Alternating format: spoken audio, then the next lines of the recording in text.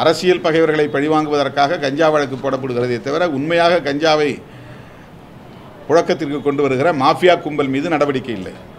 மனித வளத்தை கடுமையாக பாதிக்க செய்யக்கூடிய மது அரசாங்கத்தினாலேயே நடத்தப்படுவது விற்பனை விற்பனை செய்யப்படுவது இந்த தேசத்திற்கு விரோதமான செயல்.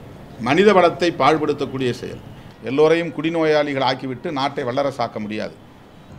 இன்றைய எழுபத்தி ஐந்தாவது ஆண்டு பவள விழாவை காணவிருக்கிற திராவிட முன்னேற்றக் கழகத்தின் தலைமை பொறுப்பில் இருக்கிற தமிழ்நாடு முதல்வர் மாண்புமிகு அண்ணன் தளபதி ஸ்டாலின் அவர்களும் இந்திய ஒன்றிய அரசுக்கு இந்த வேண்டுகோளை வலியுறுத்த வேண்டும் என்று விடுதலை சிறுத்தைகள் கட்சியின் சார்பில் இன்றைக்கு கோரிக்கை மனு ஒன்றை வழங்கியிருக்கிறோம்? இதுதான் நேரடியாக.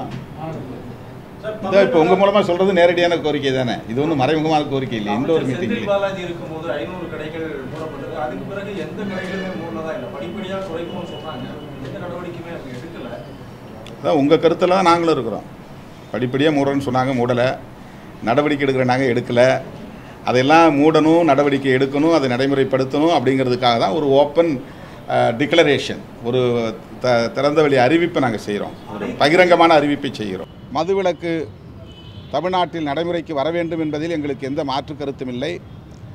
நிர்வாக சிக்கலை கருத்தில் கொண்டு படிப்படியாக அதனை எவ்வாறு நடைமுறைப்படுத்த முடியுமோ அவ்வாறு நடைமுறைப்படுத்துவோம் என்றும் மாண்புமிகு முதல்வர் அவர்கள் கூறியிருக்கிறார். தயங்குகிற எல்லோருக்குமே அதிமுகவும் சொல்கிறாங்க ஆனால் நடைமுறைப்படுத்தலை இப்போ வேணா அவங்க எங்களோட சேரட்டும் இந்த மாநாட்டுக்கு வரணும்னு விரும்புகிறவங்களாம் வரட்டும்.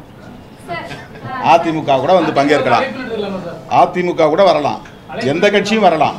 எல்லா கட்சியும் வரலாம். மது மது ஒழிப்பில் உடன்பாடு உள்ள அனைவரும் ஒரே மேடையில் நிற்க வேண்டிய தேவை இருக்கிறது. எல்லாரும் சேர்ந்து குரல் கொடுப்போம். எல்லோரும் சேர்ந்து பேசுவோம். இந்திய ஒன்றிய அரசுக்கு ஒரு அழுத்தம் கொடுப்போம். இந்திய ஒன்றிய அரசு எனக்கு இதில் எந்த பொறுப்பும் இல்லைங்கிற மாதிரி கண்டும் காணாமல் இருக்கிறது. மரக்காணம் அருகே மீனவர் மற்றும் தலித் மக்கள் வசிக்கும் குடியிருப்பு பகுதிகளில் கள்ளச்சாராயம் அருந்தி பதினான்கு பேர் உயிரிழந்தார்கள். அது தமிழ்நாட்டையே உலுக்கியது. அதன் பின்னர் கள்ளக்குறிச்சியில் கள்ளச்சாராயம் அருந்தி எண்பத்தி ஒன்பது பேர் பலியாகியிருக்கிறார்கள். பாதிக்கப்பட்ட மக்களை நேரிலே களத்தில் சந்தித்த போது அவர்கள் வைத்த ஒரே கோரிக்கை அரசு எங்களுக்கு இழப்பீடு தருவது முக்கியமல்ல.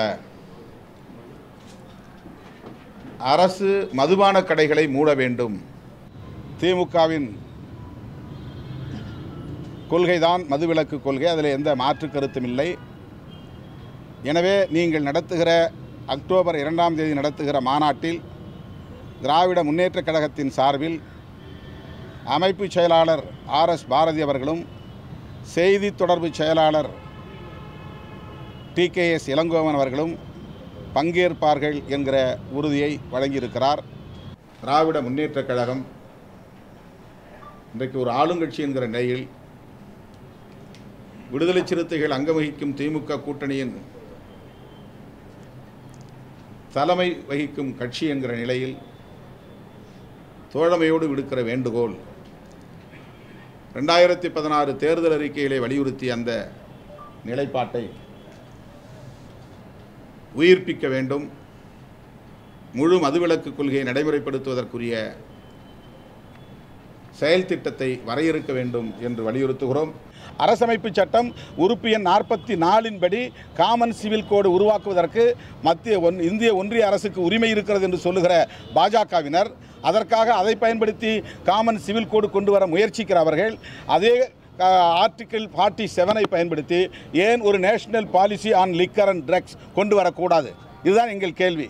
அதுக்கு ஏன் தனிப்பட்ட ஒரு சட்டத்தை இயற்றக்கூடாது? இதுதான் எங்கள் கேள்வி. இந்திய ஒன்றிய அரசுக்கும் இதில் பொறுப்பு இருக்கிறது என்று அன்றைக்கு பேரறிஞர் அண்ணா சுட்டிக்காட்டியதைத்தான் இன்றைக்கு விடுதலை சிறுத்தைகள் சுட்டிக்காட்டுகிறோம்.